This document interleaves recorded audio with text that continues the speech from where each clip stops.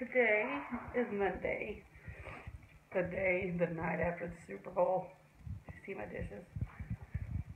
We on Saturday we were gone almost all day, and then yesterday was the Super Bowl, Super Bowl, and we had to put some together some stuff.